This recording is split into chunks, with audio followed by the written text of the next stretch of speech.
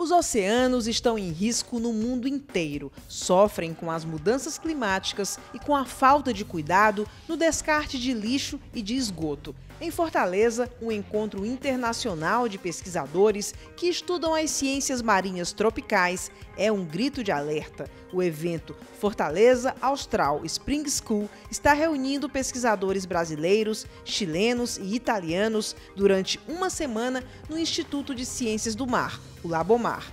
Este professor veio da Universidade de Salento, na Itália. Which means trying to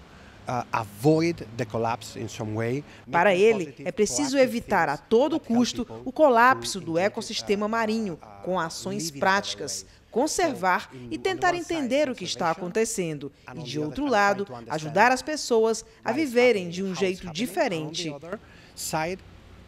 Try to help people to live in another way. De acordo com os pesquisadores, nos últimos 30 anos, a temperatura do mar de Fortaleza teria subido aproximadamente um grau.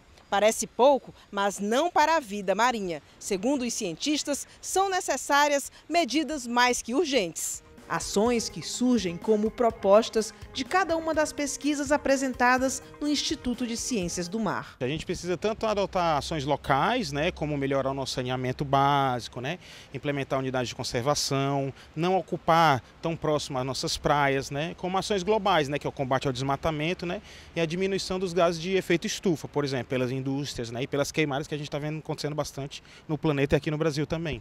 O Fortaleza Austral Spring School está na segunda edição no Labomar. Organizado pela pós-graduação de Ciências Marinhas Tropicais, o evento já inscreveu o nome do Ceará no mapa dos estudos sobre a saúde dos oceanos. Esse curso ele vem a contribuir com as discussões sobre a importância do ambiente marinho inserido é, com as consequências do aquecimento global. Então é extremamente importante estudar os mares e os oceanos. É o segundo ano que a gente traz esses pesquisadores internacionais.